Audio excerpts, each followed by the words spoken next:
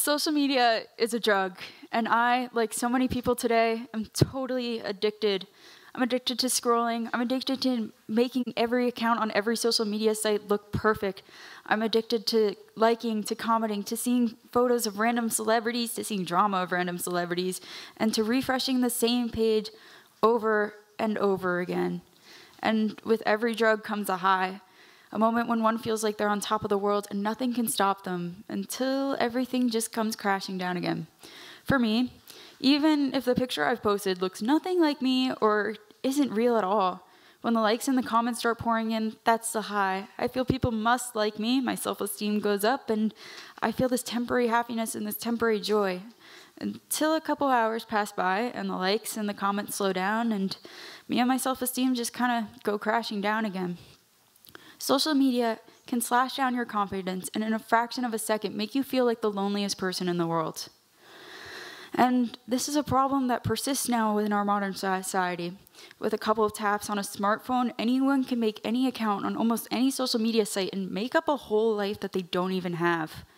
And as our technology gets better every single day, it becomes easier and easier for people to post a picture where they look 20 pounds skinnier, to Photoshop themselves into a party they never went to, or in more extreme cases, do things like this, where they put a so, uh, toilet seat up against a window so it looks like they're going on an exotic vacation, even if they're actually not. This phenomenon is particularly prominent in what is now known as influencers on social media. Influencers look like they live the amazing life. They are usually on any social media platform, but specifically Instagram and YouTube, and have millions of followers or subscribers. As I said before, their life looks perfect, and even companies use them to promote products for easy advertising. Looking at a social media uh, social media influencer can make the average person feel pretty insecure at times. An example of one of these influencers is James Charles, 19 year 19 year old makeup artist with over 15 million followers. I'll admit it, he doesn't look bad in any single photo on his Instagram. His makeup is always flawless, and he never shows you the time or the money it takes to put all that on, so it looks quick and easy and like he did it in a minute. Another one, Hailey Baldwin Bieber. She has over 18.3 million followers, and she posts pictures of herself on the most beautiful beaches in the world. Spoiler alert, nobody wakes up and looks like that. It takes time, energy, money, and so many different resources. And I'm not a fancy influencer, but I'll admit I'll do I do it myself. I mean, I know this talk is probably going to be shared somewhere on the internet, so I dressed up better than I normally do. In real life, my hair is large and curly. I wear glasses and I prefer to wear big sweatshirts over anything else, but on every single photo on my Instagram, my hair has been straightened, I have my contacts in, my makeup's done, and I'm dressed up far better than I do regularly. Me, influencers, and so many other people now only put on Instagram what we want other people to see. When you're scrolling through Instagram, you only see what the Instagrammer has specifically does, designed, specific moments in their time where they're looking happy and they're dressed up, and nobody has to see any other part of their life. According to sociologist Julie Albright from University of Southern California, people's persona online may be much more fabulous, much more exciting than the everyday life that they're leading. And this isn't a problem just for teenagers anymore. I mean, my grandparents have Facebook. Um, I was born in 2001 on this weird Generation Z millennial cusp, and I'll find that I spend hours on Instagram and Snapchat and just end up feeling sorry for myself. I wonder why people who I haven't even spoken to in years look like they have their entire life together, and I don't. I wonder why it looks like everyone's having the best time ever. And with these photos quite literally in my face all the time, it's so easy to wonder why am I not that pretty? Why am I not that skinny? Or why am I not that popular or cool? I had a conversation with a teacher of mine as well, a millennial, who says one of the worst parts about social media is going onto Facebook and seeing people she used to go to school with now raising their own families. This makes her wonder is she raising her family right? And how can she make her son just as good or even better than every single other kid she sees on Facebook? And I've seen it with my little sister too, Generation Z. I've seen her swiping through Snapchat, wondering how it looks like every other middle schooler in the world has, is the most secure person in the world we all know that's probably not true. Although social media can make us feel so lonely. It's so easy to feel alone when it looks like every other person has it together. And you feel like you don't.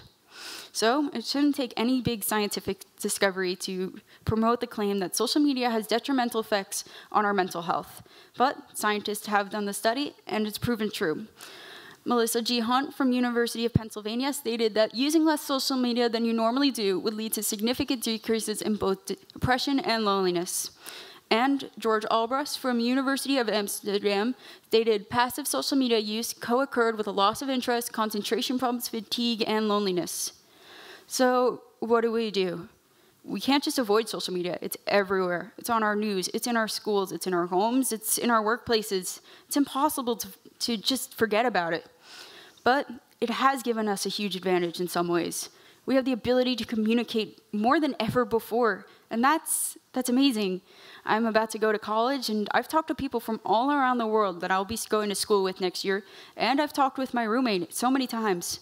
When my parents went to college, they had no idea who they'd be living with for the next year. And my TED Talks from the past few years have been put on YouTube, and my message about mental health has spread to people who I will never know. So, in the words of Stan Lee and his favorite comic book, Spider Man, with great power comes great responsibility. Social media has given us an amazing advantage to communicate, to share ideas, to bring people from all around the world together. But it's also made it easier for people to fake their lives, fake a personality, and for us to become more insecure. And going back to the Instagram influencers, it's hard sometimes to just remind ourselves that we, not everyone is going to look like the favorite celebrity. Jameela, Jameela Jamil an actress known for the NBC show The Good Place, has now started a campaign called I Weigh. Her, the purpose of her campaign is to call out and show celebrities and point out to regular people that celebrities and influencers have amazing resources to some of the best food, the best personal trainers, the best gyms, and the best magazine editors in the world. So no wonder they look better than the average person. Jamil has also called out celebrities who are now using their weight, their fans' weight insecurities to sell diet pills so everyone can look just as good as they do. Jamil has become the beginning of an amazing campaign to make us feel better in our bodies and not to compare ourselves with every single person we see on the internet. And sometimes when you're just at your worst, it's better just to delete the apps off your phone. Sometimes, as I said, when I'm feeling my worst, I just delete the apps off my phone. I don't delete the accounts necessarily, but without the apps physically there, there's nothing for me to be just checking throughout the day. And usually I can go for weeks at a time until I feel comfortable enough that I can re-download it and it won't affect my mental health so much. So I know weeks are hard, but I'm, I ask all of you, take one day, just delete the apps off your phone, whatever it is, Instagram, Snapchat, Facebook, Reddit, Tumblr, MySpace, whatever it is, delete it for one day and I promise that it'll be like a huge weight taken off your chest and who knows, you may find that you have more times to do things you like, like making music, dancing, or volunteering with kids. So, if there's one message that you take from this talk, it's I hope that you know you are not defined by the amount of likes and comments on your post or social media. Social media is not real, and no way can a single account on a social media website encapsulate the entire brilliant personality of a single human being. Thank you.